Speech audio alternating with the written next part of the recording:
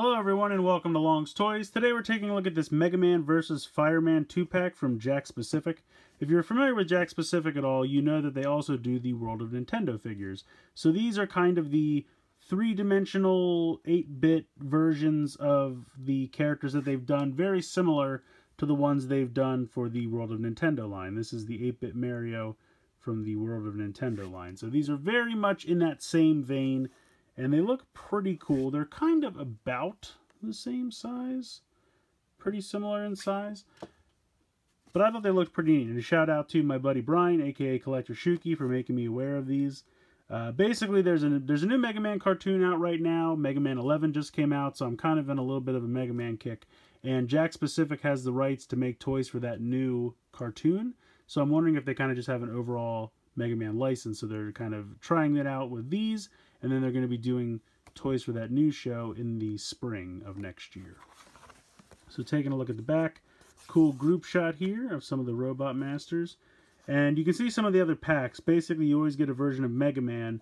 They give you Mega Man in the power of whoever would uh, would hurt this boss. So he's Bomb Man, Mega Man against Gutsman, regular Mega Man against Cutman, Cutman Mega Man against Elecman, and then Iceman Mega Man against Fireman. So I think that's pretty cool. So you're not always just getting the same Mega Man, you're getting whatever power kills the boss that you're teamed up with in the two pack. So kind of cool. I think that's neat. If you'd like to read the little bio there, each figure set includes two articulated double-sided 8-bit figures with swappable weapon accessories. Now, one, I didn't know that they were articulated, so that'll be interesting.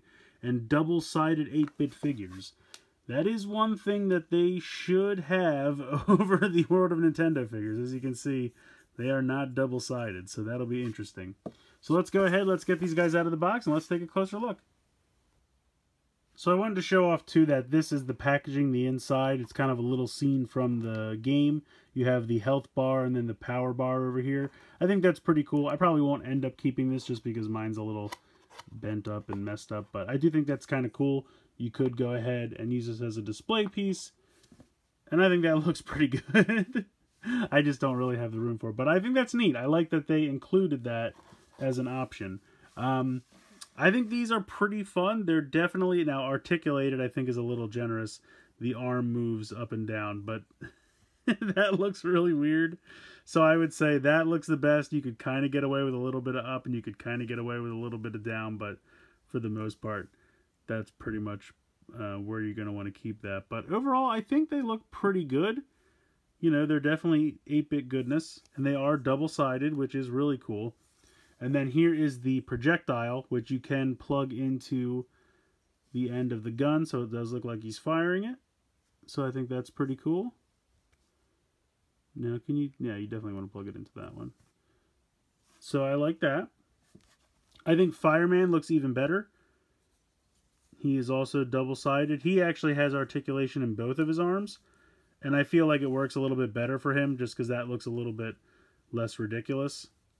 And then you can plug in this, I don't know, tuft of fire, for lack of a better term, plugs into his hand like he's getting ready to throw it at him. I kind of would have, I thought it would have made sense to have it more like down here, just so it looks like his cannon's firing it, but I guess they went for up here so it looks like he's throwing it. I mean, either way, it's not that big a deal. And they're definitely double-sided. So I think that's pretty cool. I mean, they're definitely 8-bit, and I love that. I really do. I think the fact that you can take the projectiles off is pretty cool. And you do get a little bit of articulation, but... I mean, I didn't really expect these to be articulated at all, so that's fine. But I think they look good. The whole set was $9.99, so they're about $5 a piece. And when you think about these, these are usually somewhere between 3 and $4 a piece, depending on where you pick it up. So if you would sit this guy, you know, next to Mega Man, I definitely think uh, Mega Man 1 being double-sided is a big deal. He's got a little bit more heft to him, definitely heavier. The articulation and the projectile, I would say he's worth a dollar more than this guy is. Not to downplay these at all. I like what Jakks Pacific has done with those.